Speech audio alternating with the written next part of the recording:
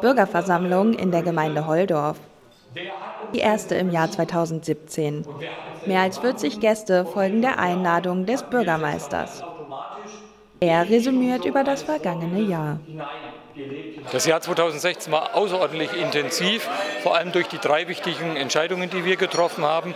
Es ging darum, dass wir mit 40 Hektar Gewerbeland uns weiterentwickeln wollen, für die Zukunft aufgestellt sind. Dann haben wir neue Wohnbaugebiete erschlossen, dadurch, dass wir die Flächen erworben haben. Natürlich muss noch die Bauleitplanung hinterherkommen.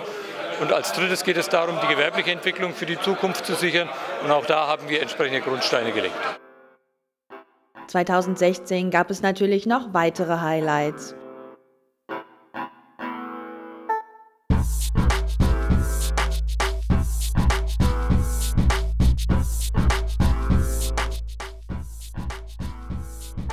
US-Präsident Barack Obama fliegt tatsächlich über die kleine Gemeinde und 560 Holdorfer zeichnen einen Wünschbarbrief.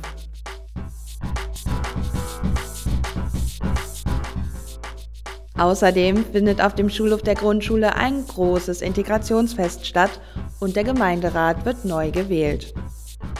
So kann man sich nicht wundern, dass der Bürgermeister auch für das Jahr 2017 klare Vorstellungen formuliert. Die Aufgabe für 2017 besteht darin, dass wir Holdorf genauso weiterentwickeln und genauso zügig und zielstrebig voranbringen, wie wir es in 2016, in 2015, in 2014 getan haben.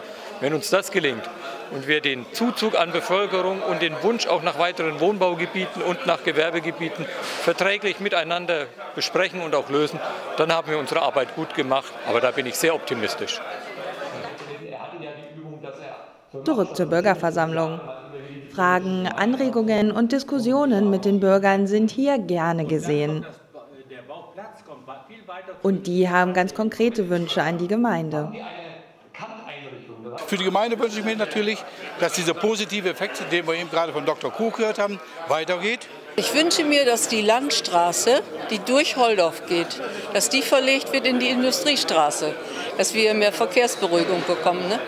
Das finde ich sehr wichtig für uns. Und ich wünsche mir, dass wir möglichst schnell die beiden Baugebiete, die wir haben, Herbert-Klose-Straße und auch das Baugebiet Sonnenkamp, äh, baureif bekommen, dass die jungen Leute anfangen können. Anfragen sind auf jeden Fall genug da.